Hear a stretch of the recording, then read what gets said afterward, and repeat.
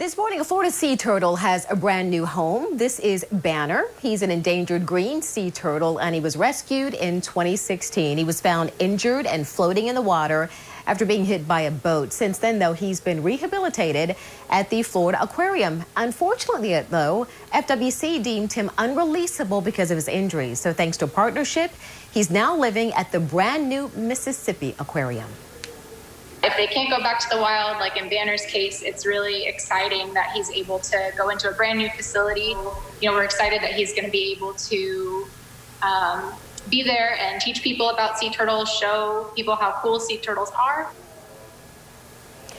Last year, the Florida Aquarium opened its $4 million sea turtle rescue and rehab center. Unfortunately, due to COVID-19, this facility is not open to the public. However, the staff still working and currently rehabbing sea turtles to hopefully be released into the wild.